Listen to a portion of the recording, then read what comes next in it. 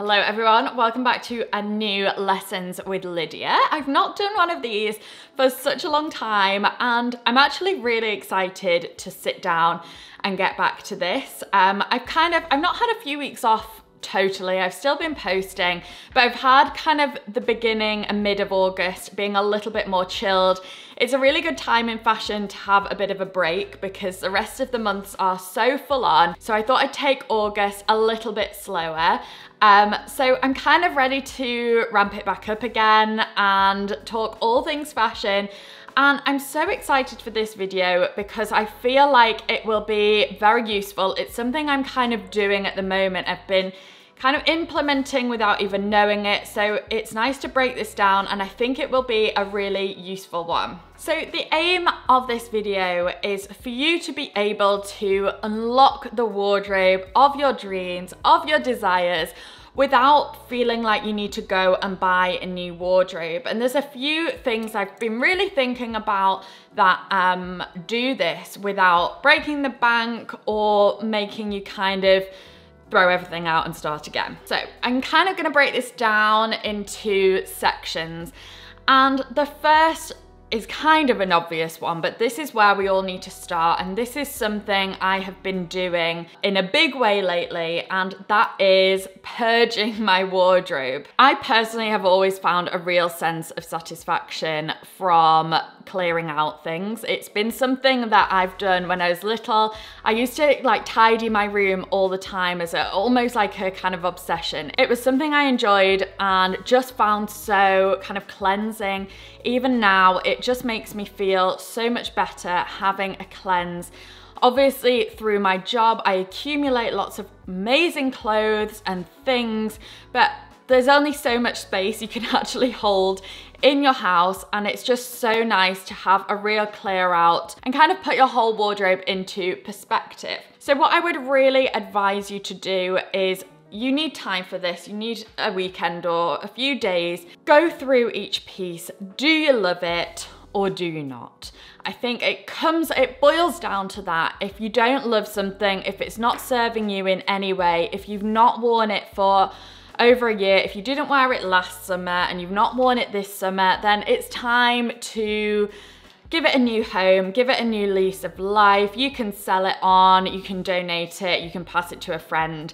Um, but if it's not personally serving you, then it's just taking up that space in your head and blocking you from creating what you want because you've got this thing in your wardrobe that's sitting there and you think, um, I need to wear that, but I don't love it and it just holds so much value to you. But actually, what it's worth in real life is probably less than the value it is to you, if that makes sense. I think we have this thing where we cling on to the worth of clothes in our own minds. It's kind of like sentimental value almost, but it's if it's not serving you, then it's blocking you from creating something new. So I think the thing to note here is we're moving on from things that we don't love. But what I would suggest is if you've got a lot of pieces in your wardrobe, and I think we're all guilty of this, that you love but you don't really wear, then hold on to those. If you love a piece, keep it because that's going to kind of um, be brought into our next step. So just a couple of extra tips for when you are doing that purge. Think about what your pieces actually go with. Do you have something that you're not too sure about? Have a look in the rest of your wardrobe, see if you can make four outfits with that one piece. If you can't make a few different outfits and you don't love the piece, then it's not really worth keeping and that's when you know uh, when to move on. Another thing I think is absolutely crucial, I'm guilty of it and it's something I am really working on and changing, is holding on to things that don't 100% fit me or feel comfortable. We've all got those pieces that we like and maybe some jeans that you think, oh maybe if I lost a pound or two, then they'd fit me really comfortably, but that time never comes and then you're just holding on to something that doesn't really make you feel good about yourself you're not wearing it um, and it's of no use to you. So get rid of those things as well. Comfort to me is absolutely key. If you've got some shoes that don't fit, got some heels that you can't walk in, you still might like them, but they're just not serving you. You need to clear out those things to make way for those one or two special pieces that you know you can wear all the time and will actually serve you. Right, on to the next step now. And this is all about those pieces that you love that I mentioned that you're holding on to, but you maybe don't wear. So you need to kind of look at all of these things, maybe put them on a rail or a separate space in your wardrobe, put them on your bed, lay them out, all of these pieces, work out do they have anything in common? So this is quite funny actually. Um, I've been talking about this recently with my mum and we've kind of spoken about this before, but basically there's many times I'm the same, she's the same. We've got things in our wardrobes that we're just not wearing. And she kind of realized one thing for her was a lot of blouses that she wasn't utilizing and wearing. Um, and she actually realized the reason she wasn't wearing any of these blouses was because they were maybe a little bit sheer and see-through. And although she loved them and really wanted to wear them, she was like, I can't because they're a little bit sheer and see-through. So the point of what I'm saying is she's identified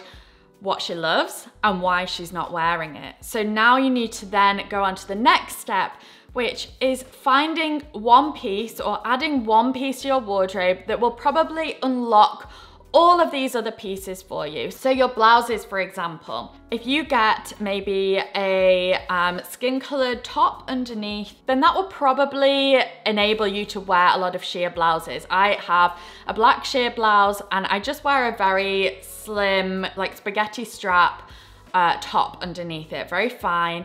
And it's just adding that one little basic to your wardrobe that then unlocks all of these pieces. I just changed the light a little bit. Um, I felt like I was getting a bit of a glow from this side of the room because of the window. Um, so I've just kind of taken the blind down a bit so it wasn't too glary and shiny. Um, but anyway, it's all about unlocking all of these pieces in your wardrobe. For example, she could also have gone for maybe a gilet over the top, something that you can then wear these sheer blouses with. You can see the sleeves, it keeps you a little bit warmer, and you've got the gilet over the top, which keeps you a little bit more covered up. So it's those one or two pieces, and suddenly she found that she could then access all of these pieces in her wardrobe that actually she's not been able to wear before. I'll give you another example, and this one applies to me, and it's something I need to definitely step up on. And I think the minute you kind of assess it and go over it, then it's there in your mind and you can just um, act on that. I think first thing we need to do really is, is sit down and think. Um, so for me, something I find that I struggle with particularly in winter maybe, is shoes, the right kind of shoes to go with things. What am I missing from my shoe drobe? And why am I not maybe wearing certain styles of trousers at certain times of years? What is it that um, I'm kind of missing and lacking? One example I've had this summer is that I found wide leg trousers are not really serving me on the days that I want to maybe not wear a sandal. I love wide leg trousers with sandals in the summer, but here in England, it's not always sandal weather. And I found that ballet flats and wide leg trousers look okay. It's not my favorite look. And I found that kind of trainers are fine, but sometimes you don't want to wear trainers, you want a proper shoe. I think loafers sometimes a little bit too heavy with a wide leg trouser. So it's something I've I need to buy and invest in is maybe a pointed pair of flats, something a little bit more elegant and dainty that's not a sandal but not a rounded toe ballet flat, something that draws the eye down and that really pairs nicely with wide leg trousers because that is something I feel like I'm not getting my wear out of this season just because we can't really wear those sandals very much. So a lot of the time unlocking these unworn pieces in your wardrobe actually involves the weather. And I know it's such a boring thing to talk about, but actually the weather really impacts the way we dress. Probably the number one thing that impacts the way we dress.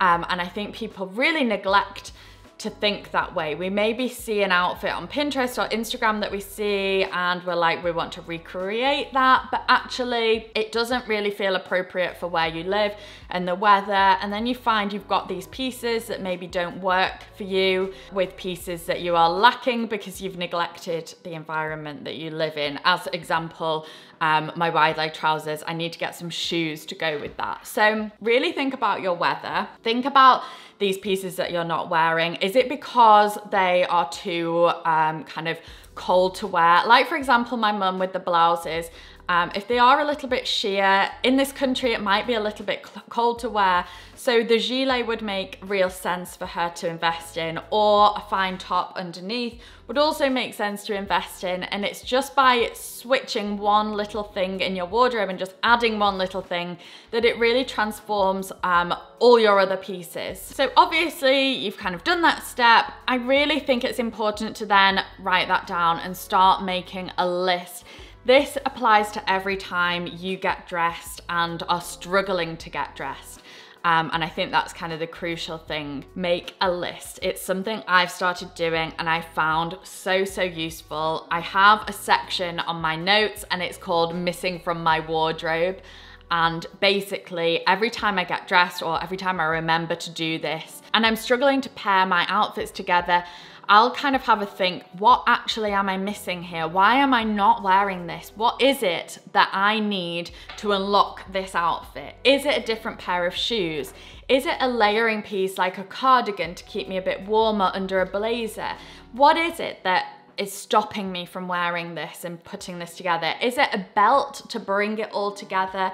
Everybody will be different in this and that's why it's so important uh, for you to go and write it down. And that's what I want this video to be about. It's not about kind of copying what I'm saying and what I'm missing. It's about then taking these tips and applying them to yourself into your wardrobe um, and writing this down and making a good list so that when you're shopping, you're not wasting money, you're not overbuying, and you're just making a really useful purchase. So my next tip when it comes to assessing your wardrobe is to work out what you wear all the time. So for example, for me, it's a black blazer. Um, I wear a lot of the same jeans at the moment, which is like a barrel leg, carrot style, cropped jean. And then once you've figured out those pieces you wear all the time, again, put them aside, put them on a rail, and then work out why you wear that all the time. What is it about that piece that you gravitate towards.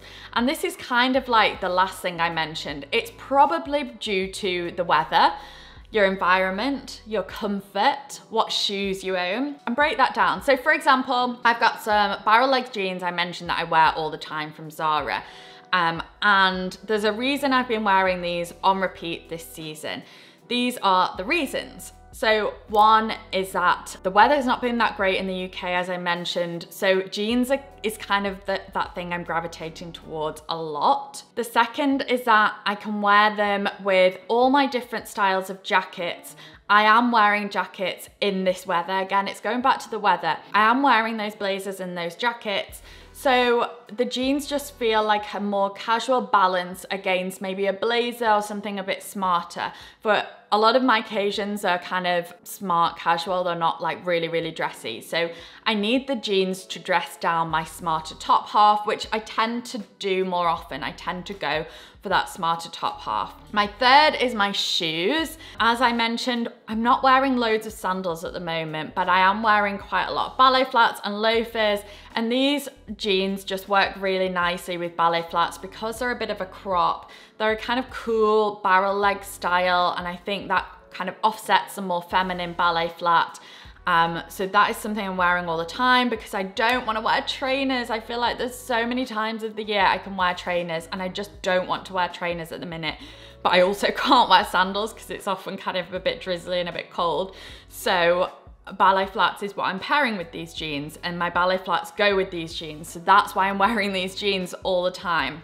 And another is that I can belt the jeans. Um, I often use belts to transform and create my outfits and these jeans look great belted. Another reason is that you can dress them up in the evening. I think because they've got that barrel leg, they just do have that kind of cool edge that you can then dress up. And they also go with lots of different heel types. They go with kind of slingback heels, um, they go with like a heeled sandal. So again, it's back to shoes. They go with absolutely everything. So that's just a breakdown of my example, why I wear these jeans all the time. So you need to go into your wardrobe, find those pieces that you wear all the time and analyze why. So that then again, when it comes to shopping and kind of slowly adding and introducing new pieces to your wardrobe and creating that wardrobe of your dreams and that's a wearable wardrobe for you, you know what you need to go for. Again, I think there's sometimes a beauty in buying similar things. There's a reason we gravitate towards those similar things.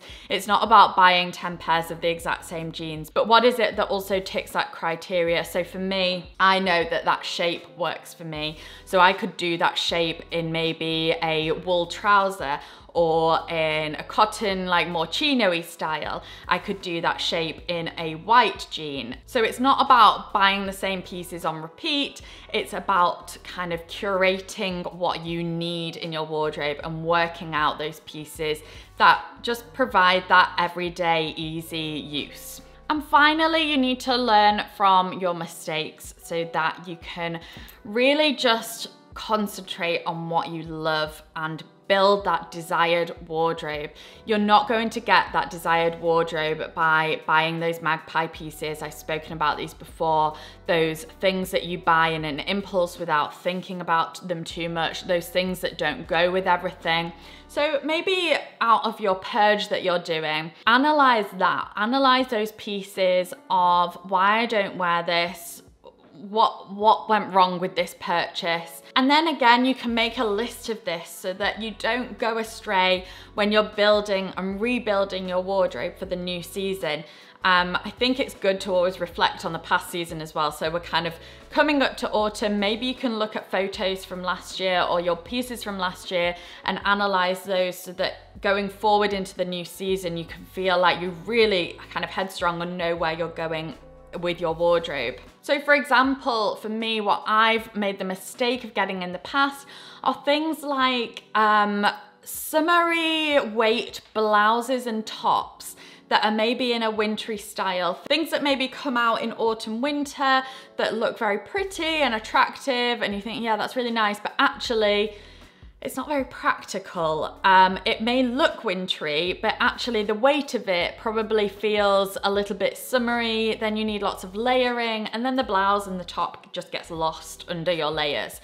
So that is kind of a mistake that I know I've made in the past, but there are loads of different wardrobe mistakes we make and it's all about just breaking that down and analyzing it. So that's kind of my final tip. And I think the key thing to take away from this is just to take some time to analyze everything in your wardrobe so that you're not wasting time and money further down the line. It may take a little bit of effort to do this and a little bit of remembering, but actually in the long run, it will stand you in so much good stead.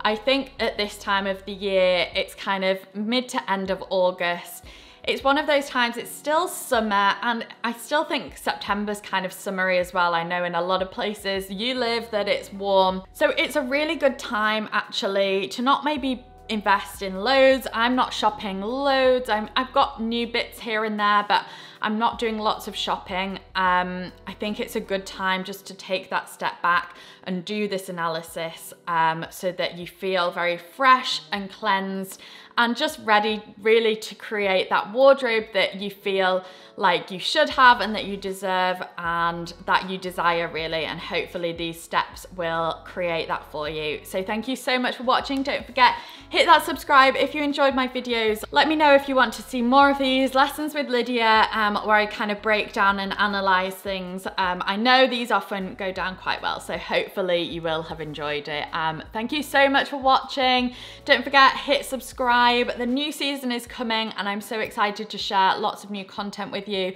And the same over on Instagram and TikTok too, um, both at Lydia Jane Tomlinson. I'll link them below. Thank you so much and I'll see you in my next one.